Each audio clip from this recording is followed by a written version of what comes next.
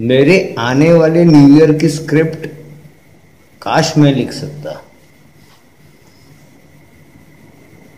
तो जितने रिश्ते कचरे थे तो जितने रिश्ते कचरे थे, उन्हें बहा देता। और जो चंद नगीने मेरे हिस्से में थे, उन्हें पाल लेता काश मेरे आने वाले न्यू ईयर की स्क्रिप्ट मैं लिख सकता